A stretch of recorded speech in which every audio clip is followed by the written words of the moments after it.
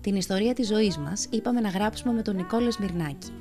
Ένα τετράδιο ονείρων και πραγματοποιήσεων έφτασε στα χέρια μου και με έβαλε σε μια διαδικασία να σκεφτώ ποιο θέλω πραγματικά να είναι το επόμενό μου βήμα. Ο Νικόλας δημιούργησε ένα βιβλίο στο οποίο οι συγγραφείς είμαστε εμείς. Εμείς γράφουμε σκέψεις, όνειρα, φιλοδοξίες, εμπόδια, δυσκολίες, αλήθειες. Και εμείς μόνοι μας θα βρούμε την απάντηση ποια όνειρά μας είμαστε έτοιμοι να πραγματοποιήσουμε. Κάθε φορά μου βάζει και δύσκολα. Τι εννοείς; Ε, τι εννοώ. Ήρθε το βιβλίο και λέω εντάξει τώρα, για να το ξεφυλίσω. Σιγά, εγώ τώρα μην κάτσω να γράψω τη δική μου ιστορία. Δεν έχω χρόνο. Ή το μυαλό μου είναι έτσι. Έχω ένα κοροναϊό, όχι εγώ. Όλοι οι φίλοι να αντιμετωπίσω. Έχω δουλειές, τα παιδιά, το σπίτι. Δεν έχω χρόνο τώρα. Ξεφυλίζω και λέω Α, να σταθώ λίγο. Μήπως να σημειώσω κάτι. Όχι, όχι, δεν θα ασχοληθώ. Είχα μία άρνηση, Νικόλα, πρέπει να σου το πω.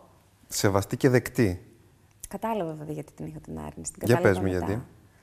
Ε, γιατί είμαι σε μια φάση τώρα που μ, εάν κάτσω να ασχοληθώ, νομίζω ότι θα δω άλλα πράγματα. Και θα πρέπει να αφήσω και άλλα πράγματα. Η, η αλήθεια είναι ότι είναι πρόκληση. Το έργο αυτό είναι πρόκληση. Ε, αποτελεί ένα τρίπτυχο, δηλαδή, είναι ένα βιβλίο με γνώσεις, με ιδέες. Αποτελεί ένα τετράδιο με προτάσεις και προτροπές. Ταυτόχρονα ε, έχει και μέσα ε, χώρο για να εκφράσεις την αλήθεια μέσα σου. Η αλήθεια αυτή, είτε τι θε- που είσαι τώρα, είτε είναι αυτό που θέλεις να κάνεις, είναι, είτε είναι πώς θα το κάνεις, δεν είναι το πιο βολικό πράγμα στον κόσμο, ούτε να το συνειδητοποιήσεις και να μπεις στη διαδικασία και να σκεφτείς πού είμαι, πού πάω, ε, τι μου δουλεύει, τι δεν μου δουλεύει, τι μπορώ να αλλάξω. ε, γιατί είναι ένας καθρέφτης αυτός και καμιά φορά λίγο φοβόμαστε. Αλλά εκεί είναι η πρόκληση ουσιαστική, να πούμε ότι αξίζει τον κόπο, γιατί αυτό θα με πάει στην πρόοδο, αυτό θα με κάνει καλύτερο και μετά στο τέλος θα πω φαντάζεσαι να μην είχα μπει σε αυτή τη διαδικασία. Είναι πολλές φορές που λέμε, έλα μωρέ τώρα βαριέμαι, δεν βγαίνω, άστο. Πω, πω, είμαι κουρασμένος. Και κάτι γίνεται και κάποιος να ξεσηκώνει, βγαίνουμε και λέμε, περάμε καταπληκτικά. Φαντάζεσαι να μην είχα βγει. Φαντάζεσαι να μην είχα κάνει όλες αυτές τις αλλαγές στη ζωή μου. Εμένα τώρα πειράζει που λίγο αυτό με αγχώνει. Όχι, δεν και πειράζει με στρεσάρει καθόλου. και μου φαίνεται λίγο τεράστιο. Και είναι κάποιες φορές στη ζωή μου που είμαι έτοιμη να το κάνω και το κάνω. Και κάποιες άλλες που λέω τώρα θέλω να πάρω λίγο απόσταση από αυτό το, το σκαρφάλωμα, το σκάψιμο. Μα και αυτό πρόοδος είναι. Δηλαδή, ε, το να αφήσουμε το χωράφι ένα χρόνο καλλιεργητό είναι για να οι θρεπτικές ε, ουσίες να μπορέσουν να επιστρέψουν και να είναι η αγρανάπαυση που λέμε, να είναι έτοιμη την επόμενη χρονιά. Ε, μέσα, αν ε, έτσι σιγά σιγά, χωρίς ε, κανένα άγχος και χωρίς καμία πίεση, μπεις στη διαδικασία λίγο να το ξεφυλίσεις, να το αισθανθείς. Έχει σχεδιάκια, έχει ξέρεις, πραγματάκια. Είναι ευχάριστο. Ναι, αυτή, αυτός είναι Για και ο τα μεγάλα σκοπός. παιδιά. Αυτός είναι και ο σκοπός. Ε, θα δεις πράγματα όπως το, τη λίστα ας πούμε, ψυχαγωγίας, διασκέδασης, που λέει ε, σκέψου τώρα κάτι που σε χαλαρώνει, σε διασκεδάζει μπο- ε, και κάντο. Είναι εντάξει να μην κάνεις και τίποτα. Το γράφει αυτό μέσα. Ναι. Είναι εντάξει να κάνεις ένα ωραίο μπάνιο, ένα χαλαρωτικό μασάζ. Δηλαδή, πήγαινε το εσύ εκεί που θέλεις. Μην το αφήσεις να σε πάει εκείνο εκεί που θέλει. Ξέρεις, πολλές φορές έχουμε μία... μ, Παρανοούμε τι σημαίνει εξελίσσομαι και προοδεύω στη ζωή μου και κα- γράφω τα, καταγράφω τα όνειρά μου, τις σκέψεις μου, τους στόχους μου, γράφω την ιστορία της ζωής μου από την αρχή και γίνομαι όπως με θέλω πραγματικά να είμαι. Παρανοούμε και θεωρούμε ότι όλο αυτό πρέπει να γίνει τώρα. Τώρα, μέσα σε μία εβδομάδα, εγώ να έχω δει αποτέλεσμα. Γιατί αλλιώς είμαι αποτυχημένος. Που είναι απριόρι λάθος αυτό, γιατί το κάνουμε αυτό και με τους ανθρώπους που θαυμάζουμε. Δηλαδή βλέπουμε κάποιον και λέμε πω πω αυτός σίγουρα χθες ξύπνησε και σήμερα, ε, χθες κοιμήθηκε, σήμερα ξύπνησε, πάτησε ένα κουμπί και συνέβησαν όλα αυτά στη ζωή του. Ε, και εκεί έρχεται η παγίδα του ταλέντου, του υποτιθέμενου χαρίσματος, που ναι, υπάρχουν χαρισματικοί άνθρωποι, αλλά χωρίς όλη τη δουλειά δεκαετιών δεν υπήρχε περίπτωση να έχουμε το αποτέλεσμα Έτσι. που βλέπουμε μπροστά μας. Και αυτό γιατί είναι παγίδα. Είναι παγίδα γιατί υποτιμάει εκείνον ή εκείνη. Είναι σαν να λέμε εσύ γεννήθηκες έχοντας την δυνατότητα να είσαι τόσο καλή ηθοποιός, τόσο καλή δημοσιογράφος, τόσο καλή παρουσιάστρια, τόσο... Που αυτό υποτιμάει τον άνθρωπο που έχουμε απέναντί μας και θαυμάζουμε, γιατί έχει υπάρχει δουλειά από πίσω. Και το άλλο που κάνει σε εμάς είναι ότι μας βάζει μια διαδικασία ε, να υπνοτιστούμε και να πούμε αφού αυτός το έχει και έχει το ταλέντο. Εγώ που δεν το είχα, δεν το έχω, καλά κάνω εκεί με εδώ που είμαι. Όχι, και δεν είναι. Θα προσπαθήσω. Ακριβώς. Πολλά, πολλά, μα πάρα πολλά μικρά βήματα είναι που κερδίζουν, κερδίζουν τους μακρινούς αγώνες δρόμου. Πάρα πολύ μικρές και λίγο μεγαλύτερες πολλές νίκες είναι που οδηγούν σε αυτό που αποκαλούμε θρίαμβο και υπάρχουν και μικρότεροι θρίαμβοι. Mm. Και όταν αναφέρομαι στη λίστα νίκης μέσα, που είναι αυτή η συλλογιστική της και η λίστα ευγνωμοσύνης, αλλά να μείνω έτσι, για λίγο στη λίστα νίκης, είναι ότι μην περιμένω για να γράψω κάτι σημαντικό που έκανα στη ζωή μου. Να κερδίσω ένα εκατομμύριο ευρώ ή να ανέβω τα 7.500 μέτρα του Everest. Δηλαδή, η νίκη, αν θέλεις το δικό μου ορισμό, είναι εκπλήρωση του άβολου. Βέβαια. Κάτι που για σένα. Ε; Ναι, για κάτι που για σένα είναι άβολο, που για μένα μπορεί να είναι βολικό, βολικό και το ανάποδο. Αν για παράδειγμα εσύ σήμερα, α, εγώ σήμερα το βράδυ φάω μια σαλάτα, που αυτό μου είναι δύσκολο, εγώ μπορώ να το γράψω στη λίστα νίκης μου. Και αυτό με συστηματικότητα σε, σε ένα χρονικό διάστημα Α θα μου φέρει το αποτέλεσμα. Και ας μείνουμε σε αυτό. Έχει Άρα, αξία. Άρα, αυτό που καταλαβαίνω ότι έχει πολύ μεγάλη σημασία είναι να συγκρίνουμε τον εαυτό μας με τον ίδιο μας τον εαυτό. Με το χθες, το προχθές, το σήμερα το πρωί, το πώς το χειριστήκαμε πράγματα εμείς και πώς το κάναμε λίγο πριν. Όχι με τον Νικόλα, όχι με τη Μαρία, όχι με τον Δημήτρη. Με πας στα τρία... είναι η παγίδα μας. Έτσι ακριβώς. Είναι παγίδα. Με πας σε μια έννοια που αναλύω στο προηγούμενο βιβλίο μου, στο Να ευτυχήσω για να πετύχω, στα τρία επίπεδα σύγκρισης. Μου επιτρέπεις, νομίζω ότι, Βέβαια. ότι έχει ενδιαφέρον. Ε, που είναι το λάθος, η παγίδα; Λάθος. Δεν υπάρχει λάθος και σωστό. Είναι το μη παραγωγικό, δηλαδή αυτό που δεν μας πάει στην πρόοδο και το παραγωγικό αυτό που μας πάει στην πρόοδο. Και αυτό ο καθένας το ορίζει για τον εαυτό του. Λοιπόν, συγκρίνω πολλές φορές τον εαυτό μου με τον καλύτερο από μένα και νιώθω χάλια. Mm. Στενάχωρα, νιώθω ότι δεν είμαι εκεί που είμαι και δεν θα φτάσω ποτέ. Όχι. Δεν λέω να μην συγκρίνω τον εαυτό μου με αυτό συγκρίνω τον εαυτό μου με τον καλύτερο. Αυτό δεν είπαμε, τον καλύτερο από ναι. μένα. Συγκρίνω τον εαυτό μου με τον καλύτερο από μένα για να εμπνευστώ για να πω, κοίταξε να δεις, τι ωραία, πώς, πόσο ωραία τα έχει καταφέρει αυτά. Υπάρχει αυτός ο δρόμος. Θα το κάνω εγώ με τη δικιά μου πινελιά. Μπορεί να μην φτάσω ακριβώς εκεί, θα πάρω το δικό μου δρόμο, αλλά μου δίνει όλο αυτό κίνητρο. Συγκρίνω τον εαυτό μου με το χειρότερο από μένα και σε αυτό θα μας πεις διάφορα εσύ. Όταν λέω το χειρότερο από μένα, ενώ αυτό που ζει σε συνθήκη πιο δύσκολη από μένα. Mm. Προφανώς αυτό δεν έχει να κάνει με τον άνθρωπο, έτσι. Και αυτό δεν με βάζει μια διαδικασία να νιώσω εγώ ότι είμαι ο, ο σπουδαίος, ο καλύτερος αλλά όχι, με κάνει και νιώθω ευγνώμων για αυτό που έχω ήδη κατακτήσει. Ε, Πήγες στην Αφρική. Ναι. Είδες πράγματα. Η έννοια της ευγνωμοσύνης, πώς μπήκε ξαφνικά στη ζωή σου, βλέποντας κάτι που θεωρούσες αυτονόητο μέχρι χθες να είναι βασική ανάγκη που δεν έχει εκπληρωθεί των ανθρώπων εκεί. Ήταν αυτόματο το συνέστημα που εγώ δεν το ανέλησα υπό το πρίσμα της ευγνωμοσύνης. Ήταν μόλις πήρα χαμπάρι τι γίνεται και πώς είναι η καθημερινότητα των ανθρώπων εκεί και τι καλούνται να κάνουν από το πρωί μέχρι το μεσημέρι απλά για να φάνε, που εμείς απλά ανοίγουμε το ψυγείο μας, παίρνουμε κάτι και ναι. ικανοποιούμε την πείνα μας, αυτοί θα πρέπει να μαζέψουν ξύλα, να ανάψουν φωτιά, να φέρουν το νερό από τη βρύση του χωριού, να μαζέψουν τις πρώτες ύλες, αν έχουν τη δυνατότητα, αν έχουν χρήματα να αγοράσουν πράγματα ή αν θα αρκεστούν σε αυτό που θα βγάλει το κυπάκι τους έξω από το σπίτι τους. Εκεί ένιωσα αυτό που σου είπα πριν. Πόσο τυχεροί είμαστε, Θεέ μου πόσο τυχερή νιώθω εγώ η Ανδριανή που μπορώ να ανοίξω το ψυγείο, θα ανοίξω τη βρύση και θα τρέξει νερό, θα μπορώ να πληθώ, θα κλείσω την πόρτα του σπιτιού μου και θα είμαι ασφαλής. Χίλια δύο πράγματα. Οι αναγωγές ήταν Εκπληκτικό. πάρα πολλές. Υπάρχει μια λίστα εδώ στο γράψη δική σου ιστορία που λέγεται λίστα ευγνωμοσύνης. Όπου οι έρευνες δείχνουν ότι η ευγνωμοσύνη λειτουργεί όπως ε, ε, λειτουργούν κάποια αντικαθλιπτικά, δηλαδή αυξάνουν, όχι ότι μπορεί να υποκαταστήσει το ένα το άλλο mm. προφανώς, αλλά αυξάνουν το επίπεδο σερωτονίνη στον οργανισμό μου όταν σκέφτομαι γιατί είμαι ευγνώμων. Ακόμα και αν δεν, δεν καταλήξω σε συμπέρασμα. Είμαι ευγνώμων γιατί είμαι ζωντανός, γιατί έχω την υγεία μου, γιατί δεν κόλλησα τον ιό, γιατί έχω 100 ευρώ στη, στην άκρη και ας μην έχω χίλια, γιατί είναι καλά η σύντροφός μου, το παιδί μου κτλ. Ή στοιχεία ευγνωμοσύνης της καθημερινότητάς μου, όχι γενικά, όπως το ότι έκανα μια ωραία παρέα με ένα φίλο σήμερα και είμαι ευγνώμων γι' αυτό. Με ναι. κέρασε ένα φίλο σε ένα ναι. καφέ και είμαι χαρούμενος γι' αυτό. Πράγματα που μπορεί να, να συμβούν σήμερα, αύριο, χθες στην καθημερινότητά μας.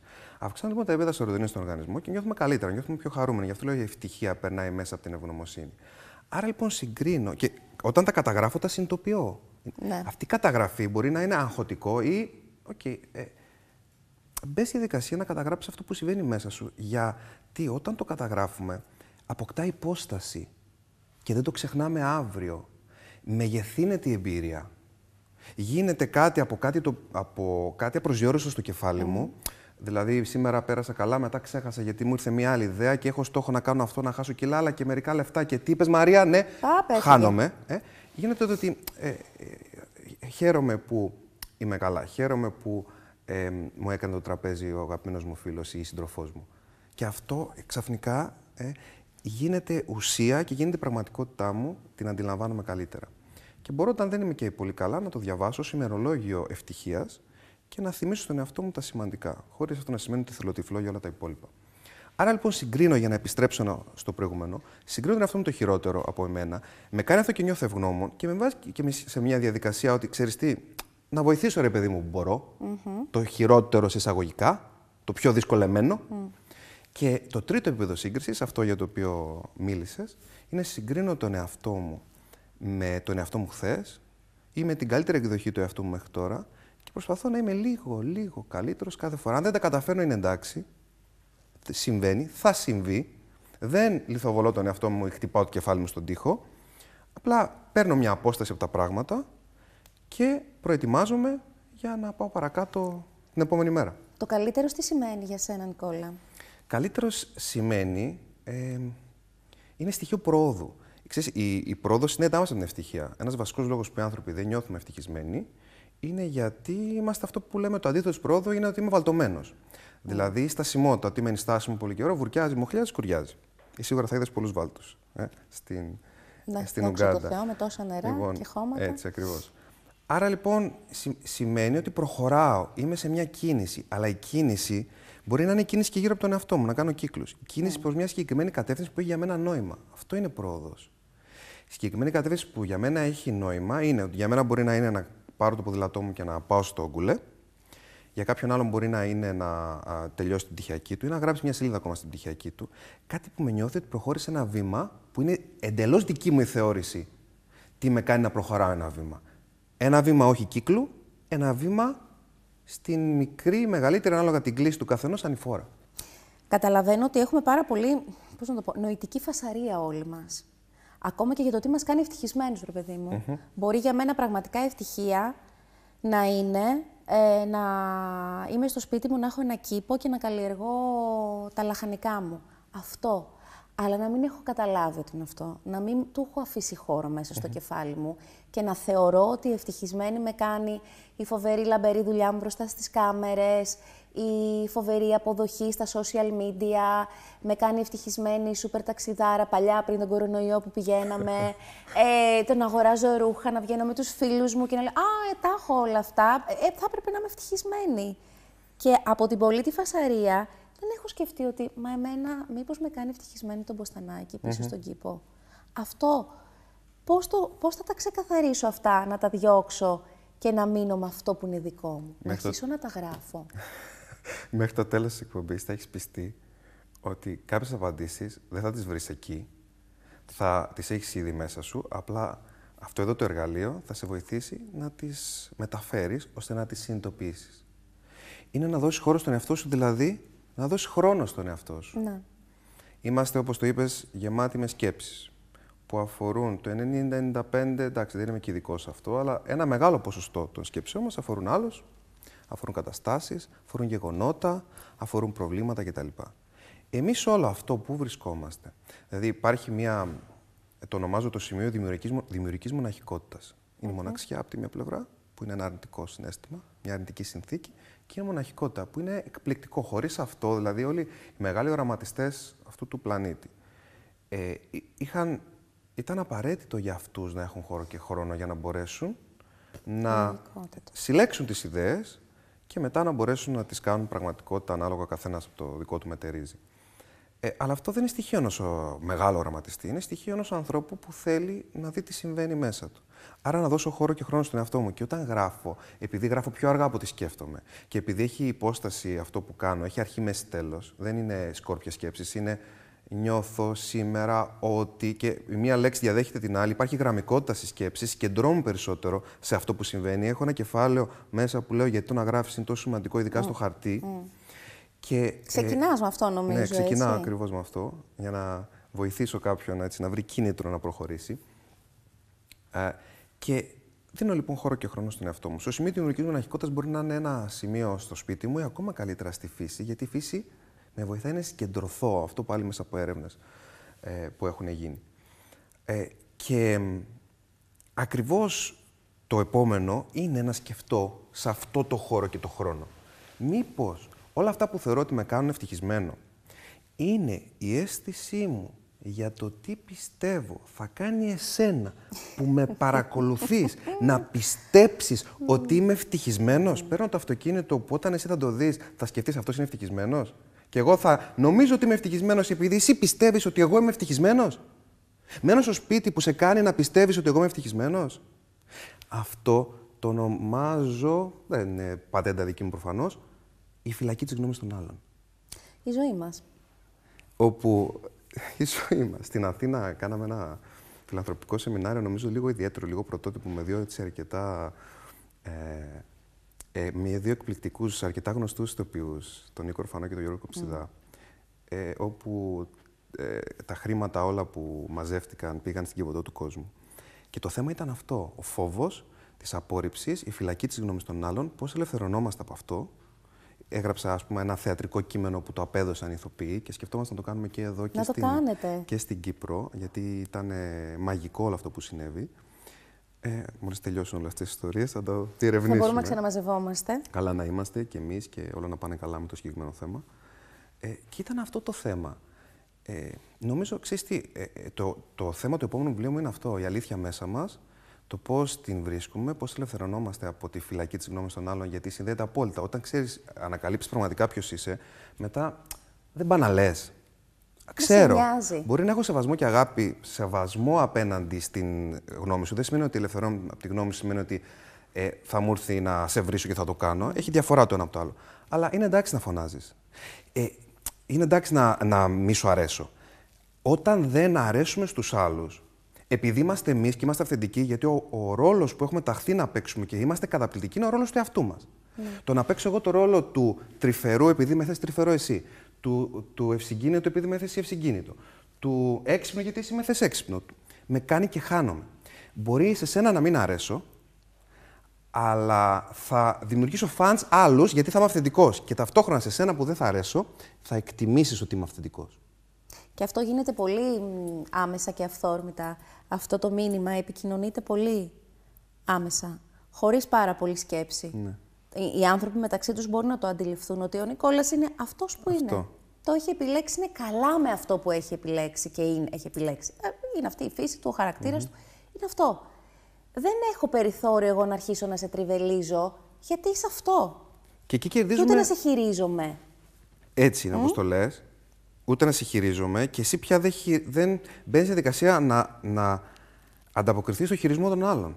Και είναι και ένα φίλτρο για τους ανθρώπους που έχεις δίπλα σου. Δηλαδή, όταν ξέρεις ποιος είσαι, γιατί έχεις βρει χρόνο με τον εαυτό σου, είτε με, με οποιοδήποτε τρόπο, να πάρεις μια κόλλα χαρτί. Α το ξένα το αυτό. Πάρεις μια κόλλα ναι. χαρτί και να αρχίσει να, να γράφεις αυτό που σκέφτεσαι, αυτό που θέλεις, αυτό που δεν θέλεις, ε, εκεί που θες να πας, εκεί που σου αρέσει, εκεί που δεν σου αρέσει, και να αρχίσεις να ψάχνεις και να δώσεις χώρο και χρόνο στον εαυτό σου. Μετά, όταν το βρεις, και δεν σε νοιάζει τόσο πολύ το τι η ανταπόκριση των άλλων, κερδίζει ακόμα περισσότερο χρόνο γιατί φεύγουν οι άνθρωποι που δεν συνάδουν με τις αρχές και τις αξίες. μου το τοπίο. Αυτό. αυτό. Είναι ένα μαγικό και πράγμα. Και ανοίγει και άλλος χώρος και χρόνος. Ξέρετε, σκέφτομαι ότι το βιβλίο αυτό έρχεται να χτυπήσει τον Έλληνα στο σκληρό πυρήνα του.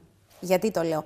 Έχει μία αίσθηση θετικής προσέγγισης στη ζωή. Όχι θετικής, μην μπούμε σε αυτή την παγίδα της πρόοδου και της εξέλιξης. Πρόοδος, αγάπη, πληρότητα. Οι τρεις ανώτερες ανάγκες του ανθρώπου. Όπως... Ναι, βρε Νικόλο, εσύ τώρα μιλάς για ευγνωμοσύνη. Να έρθω εγώ να πω που είμαι χαρούμενη, νιώθω ευγνώμων, που έχω σπίτι, είμαι ζωντανή, έχω το σύντροφό μου, τη δουλειά μου, που έχω αυτό το ποτήρι νερό εδώ, που οτιδήποτε, που σήμερα αλλιάζει, βρέχει. Στον Έλληνα δεν αρέσει αυτό. Στον Έλληνα αρέσει το ναι, αλλά είναι τώρα σπίτι αυτό που ζούμε και ο άλλος αχαήρευτο. Σιγά τώρα προκοπή που βρήκα μαζί του με τη δουλειά μου. Α, θα το κάνω γιατί πρέπει να πηγαίνω να δουλεύω. Mm. Και μέσα μας λειτουργεί σαν ναρκωτικό. Και οι κουβέντες των ανθρώπων περιτριγυρίζονται γύρω από αυτό. Η ευγνωμοσύνη είναι εξωτικό φρούτο. Mm -hmm. Είναι εξωτικό φρούτο. Ήταν πολύ περισσότερο τώρα τα τελευταία χρόνια, εκεί το 2016 που βγήκε το, Η επιτυχία ακριβώ του Κομοδίνου μου ήταν οι Έλληνες συγγραφείς στο, στο κομμάτι αυτό των ανθρώπινων σχέσεων, της mm. προσωπικής ανάπτυξη κτλ. Δεν, δεν υπήρχε τουλάχιστον πετυχημένο βιβλίο πάνω σε αυτό το αντικείμενο. Και ήταν ακόμα πιο αλαμπουρνέζικα όλα αυτά. δηλαδή, εγώ βλέπω τέσσερα χρόνια μετά ότι αρχίζει το πράγμα να αλλάζει. Και βλέπω και τους οίκους πόσο πολύ ε, επενδύουν στο κομμάτι αυτό. Και πράγματι, αν το δεις, Αδριανή μου, απομονωμένα και μιλήσουμε μόνο για ευγνωμοσύνη και κάποιος δει τώρα τα τελευταία 60 δευτερόλεπτα της εκπομπής, θα πει: OK, okay, πήγα να πω άλλη λέξη τώρα. Άσε ναι. ρε φίλε, ξέρω εγώ, τι μας λες. Αλλά ξέρεις τι, είναι, είναι σε ένα πλαίσιο όλα αυτά. Δεν μπορείς να δεις απομονωμένα τη δήλωση ενός δημοσιογράφου, ενός πολιτικού για να βγάλει συμπέρασμα για το ποιόν του. Άρα, ε, να δούμε και άλλα. Να δούμε ότι το αρνητικό συνέστημα είναι ένα μήνυμα που πρέπει να το αποδεχθούμε, να το αγκαλιάσουμε. Ε, ε είναι ένα μήνυμα πιθανότατα ότι κάτι πρέπει να αλλάξουμε. Ε, ότι είναι εντάξει να νιώθεις άσχημα. Ε, είναι ότι η ζωή έχει και αυτή την πλευρά, έχει και την άλλη πλευρά και ότι μπορούμε λίγο να μπούμε στη δικασία να διαχειριστούμε τη σκέψη που φέρνει το συνέστημα, να αλλάξουμε μετάφραση, οπτική γωνία απέναντι στα πράγματα, ότι η ευγνωμοσύνη είναι ένα σημαντικό κομμάτι, ότι θέλει δουλειά, γιατί δεν είναι το εύκολο. Δεν μας βγαίνει. Ε, δεν βγαίνει φυσικά όλο αυτό. Φυσικά βγαίνει όλο το άλλο που, ε, που περιέγραψες πριν. Γιατί, γιατί έτσι είναι δομημένος ο εγκέφαλός μας. Ε, επειδή από τότε που ήμασταν στα σπήλαια ε, έπρεπε να βρούμε έναν τρόπο να επιβιώσουμε. Ω μέθοδος λοιπόν επιβίωσης, είχαμε τον εστιάζουμε στο θηρίο που πάει να μας επιτεθεί, στο ε, να βρούμε την επόμενη σπηλιά για να κρυφτούμε. Και όλο αυτό στα χιλιάδες χρόνια της εξέλιξης έχει εντυπωθεί ως μέθοδος επιβίωσης και ψάχνουμε το πρόβλημα. Ψάχνουμε το αρνητικό. Το έχουμε εξελίξει όμως πάρα πολύ αυτό το πράγμα. Το έχουμε εξελίξει. Τα έχουμε βάλει. Το εχθρός δεν είναι το θηρίο.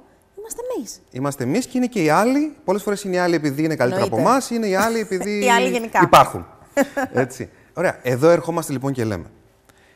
Τι κάνουμε εμείς για όλο αυτό; Αφήνουμε αυτό που αδύρυτα μας βγαίνει ως φυσική ανάγκη, δηλαδή αφήνουμε το πυθικάκι μέσα μας που είναι εκεί και το πυθικάκι μέσα μας έχει αξία.